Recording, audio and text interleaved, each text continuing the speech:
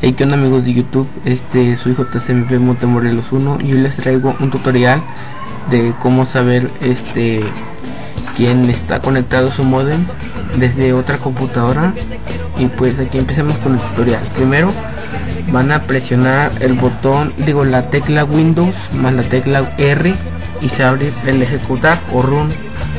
En él le van a poner CMD y aceptar o enter.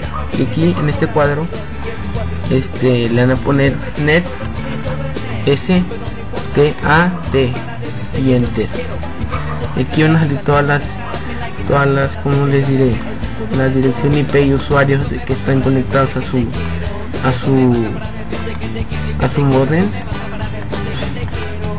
Y pues como ven aquí nomás está el mi usuario. Y aquí fácilmente te puedes dar cuenta quién está conectado a, a tu internet y pues así. Este hay cuenta aquí dice usuario Cristóbal que soy yo. Hay cuenta que sale otro usuario no sé. Usuario quién sabe quién. Y aquí va a salir el nombre del, del, de la computadora del ordenador y así. La IP y todo. Bueno eso ha sido todo. Espero que les haya servido. Nos vemos